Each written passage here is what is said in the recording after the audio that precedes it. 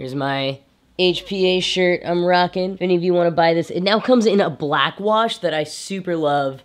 Uh, I need to buy it. Hex the patriarchy. Best sentiment you could ever put on a t-shirt.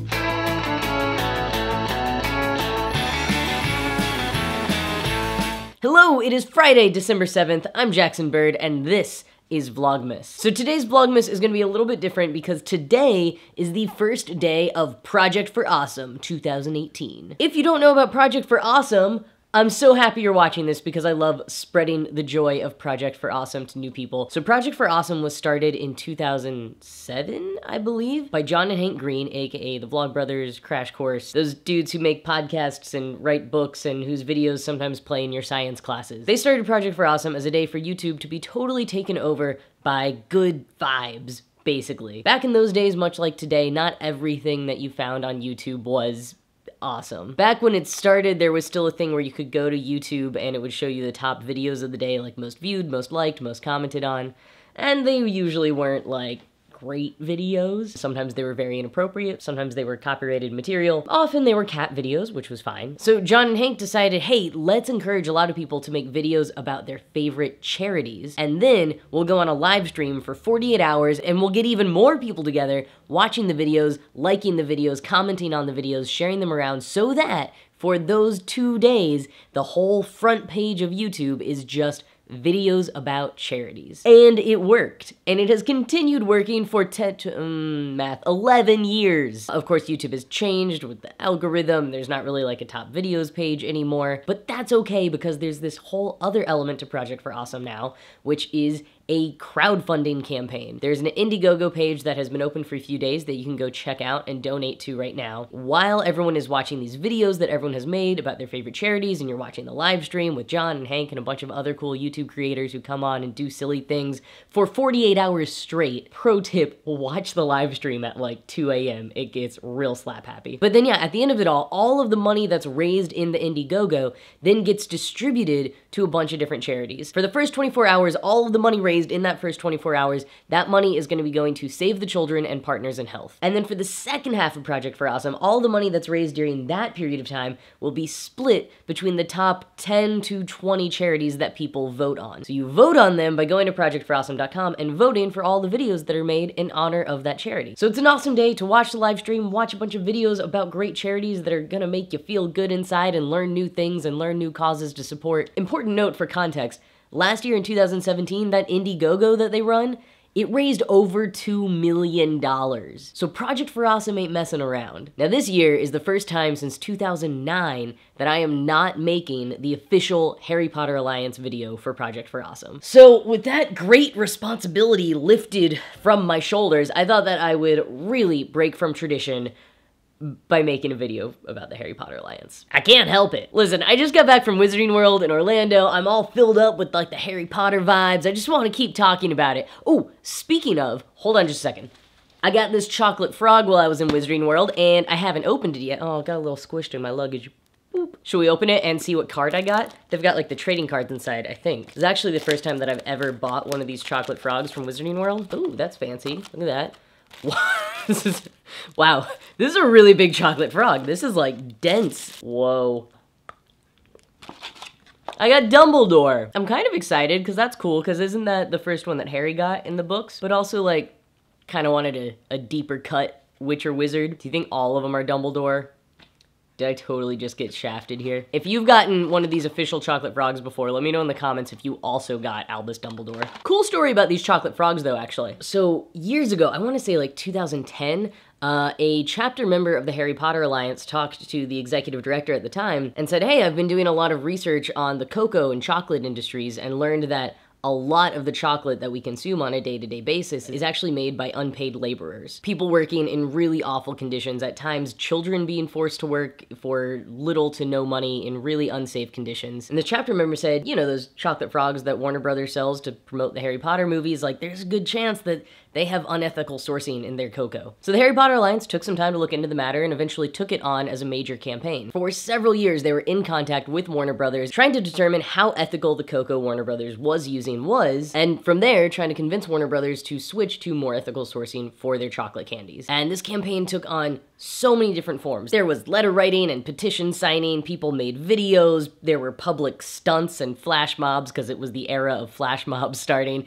The HPA even made their own chocolate so many different things. And after about four years of really concentrated work, Warner Brothers said that they were officially changing all of their Harry Potter chocolates around the world to be UTZ certified, which is a pretty good ethical sourcing standard, certainly much better than what it had been. So now, when you buy one of these chocolate frogs from anywhere, you can look on the back and it says UTZ certified. And Harry Potter fans did that. I haven't done the best job explaining this campaign right now, so if you want to learn more about it, you should watch this video that I made when Warner Brothers told us that they were switching to ethical sourcing. I think it does an amazing job of sort of explaining the Harry Potter Alliance and that campaign to you. Now listen, I know not everyone is amped about Harry Potter right now. J.K. Rowling is annoying a lot of people with like new information that she keeps tweeting or her other behavior on Twitter. I personally am, am pretty disappointed that Johnny Depp remains in a title character role for the latest Fantastic Beasts movie, especially in this Me Too era when like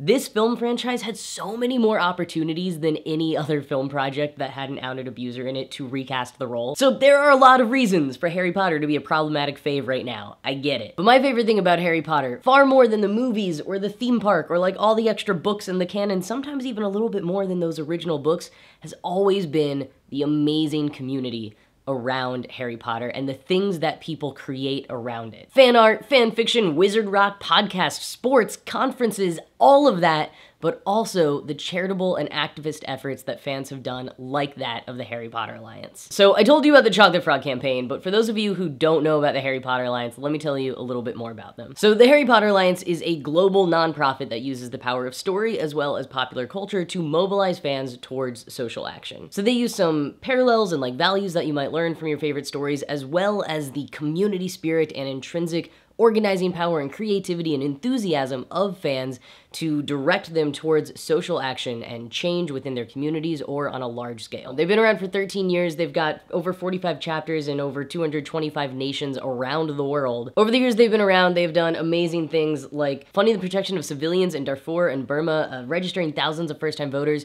donating over 300,000 books around the world, mobilizing around immigration reform and net neutrality and ethical sourcing. Back in the day, used to break records phone banking for marriage equality, and then after that happened, we started running campaigns around transgender safety and awareness. The list goes on and on and on, and if you want to learn more about the work that the HPA has done, you should go check out the other videos that people are likely making for the HPA today at projectforawesome.com, or you can watch the literal hundreds of videos that I made on the HPA's channel. Check out their channel there, or there's a link to some of my favorites in the description box. But today I want to talk about something that I couldn't quite ever say say as an employee, which is to be a little bit more blunt about why the Harry Potter Alliance needs your support and needs donations. So the HPA is an educational and leadership development based nonprofit. Even when they're making tangible change like donating books or changing the sourcing of chocolate frogs, their main cause as a nonprofit is to create leaders, to create activists.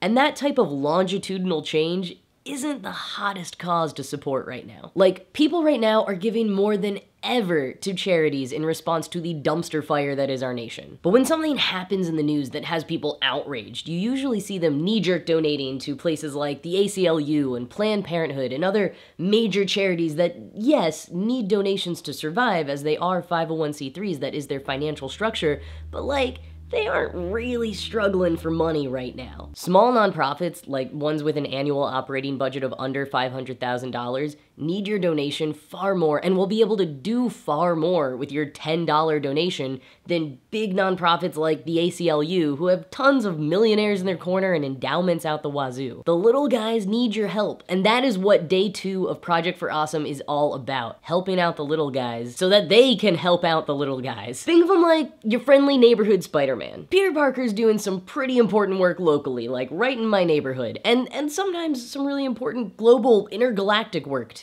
And he could use a couple of bucks a lot more than, say, Tony Stark, who's also doing a lot of good, could use a couple of bucks. That wasn't the most like ironclad metaphor, but I hope you understand where I'm going with this. Small 501c3 charities like the Harry Potter Alliance run a huge risk of going under without continued support from donors. And since they don't usually have the backing of millionaires and foundations, they rely on a lot of small donations from people like us and on incredible opportunities like Project for Awesome. Your vote in Project for Awesome in support of the Harry Potter Alliance winning a portion of the money earned this weekend could mean the difference between the HPA continuing to train and inspire hundreds of thousands of fan activists around the globe and having to shut its doors before its story is over. And trust me when I say that there is no other organization like the HPA out there. No one else is gonna replace them if they're gone. The difference I have seen made in people's lives who have been touched by the organization, the changes they've gone on to make in their communities after being a part of the HPA. It's a source of exponential and truly magical change in this world, which I think we can all agree we need a little bit of right now. So please take the time to go to projectforawesome.com and vote for every single one of the Harry Potter Alliance's videos today, tomorrow, and Sunday up until noon Eastern. You get one vote per person per video per day, so there's lots of chances to vote. And please do spread the word. You can learn more about the Harry Potter Alliance on their YouTube channel and their website. Get involved, you won't regret it. And if you can, please make a donation. Even the smallest amount really does help. Though, if you happen to know a millionaire, tell them to email matt at thehpalliance.org. Now, before I go, I do have to plug a couple of other small charities that I'm friends with who I believe will be participating in Project for Awesome this year. So look them up on projectforawesome.com and vote for all of their videos as well. We've got This Star Won't Go Out, which provides financial support to families with children undergoing cancer treatment. Uplift, which is combating sexual abuse in online communities. She's the First, which is working for gender equality through education and provides scholarships for girls to be the first in their families to graduate from high school. Define American, which is shifting the conversation around immigration, identity, and citizenship in a Changing America. Finally, the True Colors Fund, which is working to end homelessness in LGBTQIA plus youth. So check out all of them, links in the description box. Please go vote for them. Get more involved, give them all a donation if you can. And consider that my official list of places to donate to during the holiday season. Thank you all so much for taking the time to watch this video today. We'll be back to regular Vlogmas programming tomorrow. I'll see you then.